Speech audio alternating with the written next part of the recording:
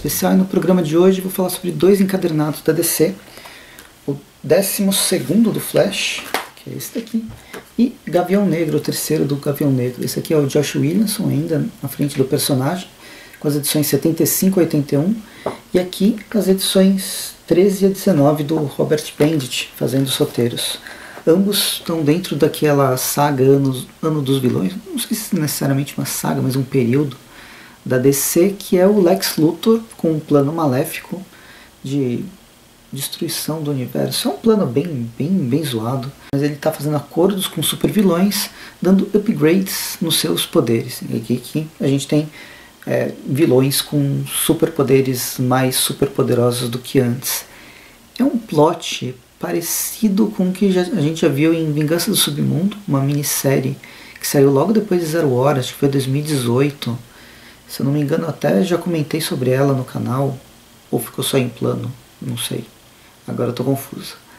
Mas é uma série interessante. Era o Neron, um demônio, ele queria dominar o, o, o inferno, e aí ele começou a, a trocar poder, né, dar, dar mais poder para vários personagens, heróis e vilões, em troca da alma dessas pessoas. A clássica venda de alma foi o Coringa vendendo por um, uma caixa de charutos. Mas não é sobre a vingança do submundo, estou falando sobre os anos, o ano dos vilões. E vamos começar falando sobre Gavião Negro, do Robert Vendit. Aqui a gente tem um, dois arcos e um one shot, mas é quase um, uma divisão crescente. A gente tem uma história completa, aí tem, tem uma história de quatro partes completa e depois mais duas fechando o encadernado. O Gavião Negro a primeira vez que a gente acompanha ele sabendo do passado. É, ele tem aquele lance de morte, renascimento, mas ao longo dos 60, 70 anos de existência do personagem, ele passou por várias origens. E essas origens elas começaram a se entrelaçar. A crise das infinitas terras não, não, não conseguiu é, arrumar isso, a Zero Hora não conseguiu arrumar isso, Agora o Flashpoint não conseguiu arrumar isso, o Renascimento não conseguiu. Ou seja, ele é todo zoado, a questão histórica do personagem, a questão de origem do personagem é completamente zoada. O Robert Vent ele vem com uma proposta de todas essas origens estão, estão valendo. Elas são vidas passadas do personagem que se passa num tempo fluido, onde passado, presente e futuro pode acontecer ao mesmo tempo. Então, a vida passada do Carter Hall de agora que a gente está acompanhando ela pode ter, ele pode ter vivido num outro planeta no, no futuro e depois mais distante no passado no Egito e, e por aí vai. Ela tudo isso corresponde a uma primeira vida primordial, né? O primeiro Gavião Negro que foi um arauto da morte, ele matou milhares e milhares de pessoas e agora ah, ele é fadado a, a essa morte, renascimento para poder salvar todas as, o número de almas que ele matou na sua primeira vida. Nesse, nesse encadernado, então, a gente vai acompanhar essa, essa busca do, do Gavião Negro pelo seu passado, ela continua. E no primeiro, a primeira história é uma história bem, bem interessante sobre guerra. O Gavião Negro ele, ele ressuscita, ele ressuscita não, ele reencarna em soldados diferentes de dois lados do fronte, em um planeta distante, onde está em guerra, fica em guerra durante uns 500 anos.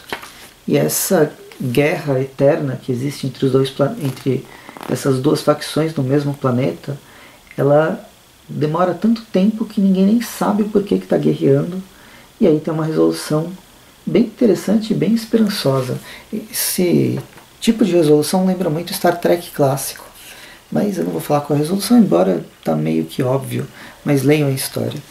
Depois a gente vai para Escuridão Interior, que é um arco do Gavião Negro, obviamente, enfrentando o Ladrão das Sombras, que é um personagem, teoricamente, esse aqui, ele não tinha poder nenhum, ele tinha um poder bem fraquinho, era um ladrão comum, e o Gavião Negro consegue, ele prende toda hora esse ladrão das sombras. Mas com o upgrade que ele recebe do Lex Luthor, ele está mega poderoso, rouba a sombra do, do Gavião Negro e aí o Gavião, né, o Carter, ele resolve ir atrás de um aliado meio inimigo. Ele tem uma grande amizade com um ladrão que por vezes é inimigo dele que aí sim é o mestre das sombras e é esse carinha aqui, com ah, todo estiloso, com fraque e cartola, e também essa, essa bengala.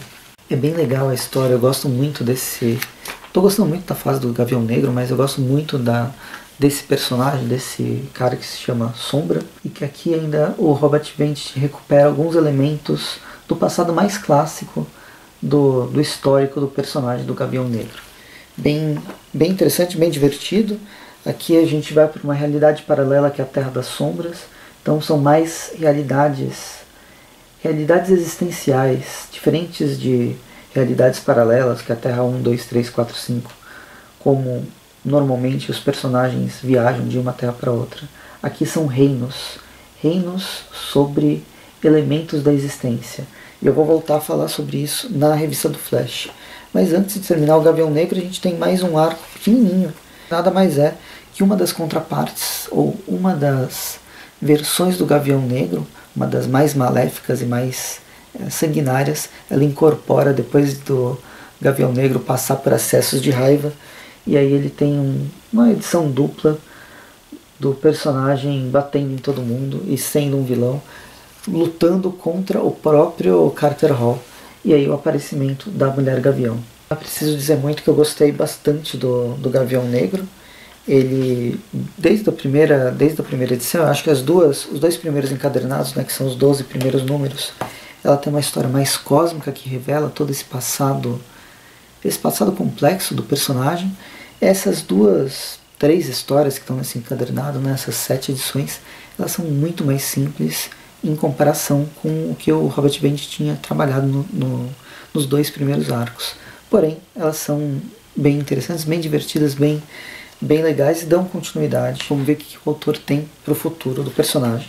E depois a gente vai para Flash, volume 12, que foi lançado agora recentemente e tem, eu não posso deixar de xingar a Panini, que praticamente, eu acho que eu já falei isso antes, mas ela cagou para os fãs, cagou para todos os leitores que estavam acompanhando o Flash desde o início, todos encadernados do Renascimento, até antes do Renascimento.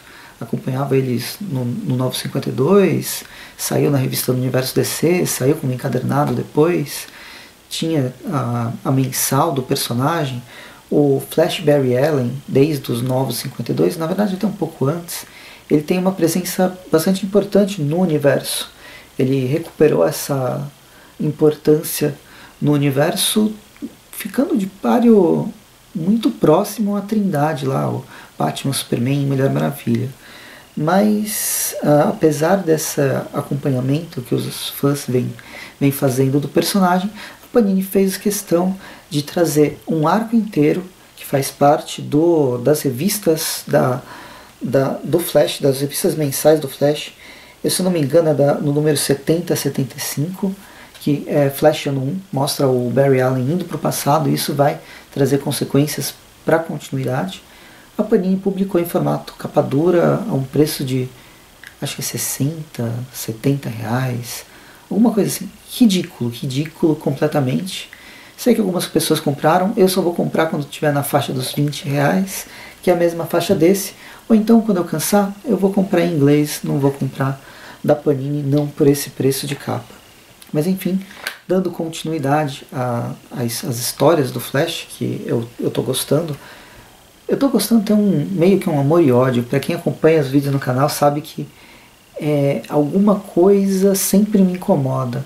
Mas pela primeira vez, esse encadernado eu gostei dele sem maiores problemas.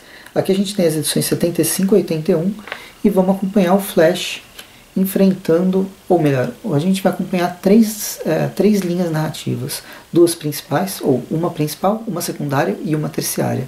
A principal é o Flash, o Barry Allen, tentando salvar todos os outros avatares das forças elementais que foram libertadas quando a, aquele muro dos antigos deuses da DC que ficam presos e separam o final do universo, basicamente ele foi quebrado, liberou toda aquela saga metal e tal. Foram alguns, algumas forças elementais além da força da aceleração foram liberadas. É a força da sabedoria, a força da inação e a força do vigor. E esses, uh, esses avatares eles já foram apresentados, eles têm a sua, a sua importância, eles estão tentando sobreviver e, e na verdade, viver sendo novos super-heróis depois de ter passado de um, de um ponto para outro.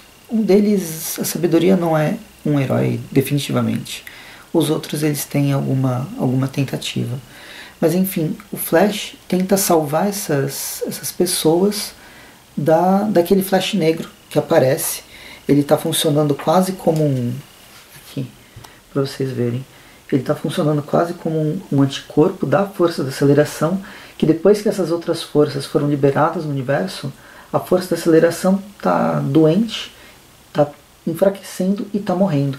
E aí o Flash Negro, como representante da força, representante maior da força da aceleração, mais até que o Flash, né, ele que vai atrás dos, dos velocistas que estão para morrer, ele está caçando esses, esses avatares para curar a força da aceleração. O Flash não quer que esses, essas pessoas morram. É uma correria de um lado para o outro, mas uma história bem, bem contada, bem, bem interessante. A segunda história né, que está correndo paralelo, ela é ligada à, à saga Ano dos Vilões, vai ser trabalhada mais no próximo encadernado, mas é basicamente a galeria dos vilões sendo reunida a partir do Capitão Frio, que ele foi solto com a ajuda do Lex Luthor, obviamente tudo é com a ajuda do Lex Luthor. Ele estava preso em Iron Heights, ele estava ele era um dos soldados da Amanda Waller no Esquadrão Suicida, mas o Lex Luthor solta ele em definitivo e dá um novo objetivo de vida para o Capitão Frio, que começa a reunir toda a galeria para finalmente se vingar. Olha aqui o Flash Negro e todos os personagens. Para ele se vingar em definitivo do, do Flash, do Barry Allen. E a terceira linha narrativa que a gente tem, olha aqui, a galeria se, se reunindo mais uma, uma vez. E o terceiro, a terceira linha narrativa, que é completamente terciária, embora tenha importância em, uh, mais ligada a, essa, a esse ano dos vilões, é o Kid Flash e a Avery, aquela Flash da Liga da Justiça da China. Os dois eles estão perdendo os poderes, mas mesmo perdendo os poderes, com grandes poderes vem grandes responsabilidades. E aí eles estão enfrentando vários, é, vários vilões que fugiram de Iron Heights quando a, a prisão foi destruída no encadernado anterior pelo Trapaceiro. Então vários vilões, não só do Flash, mas principalmente do Flash, estão é, espalhados pelo mundo e os dois personagens estão prendendo esses, esses vilões.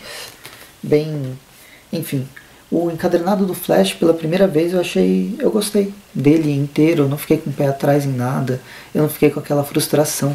Talvez porque minha expectativa não estava tão grande, talvez porque.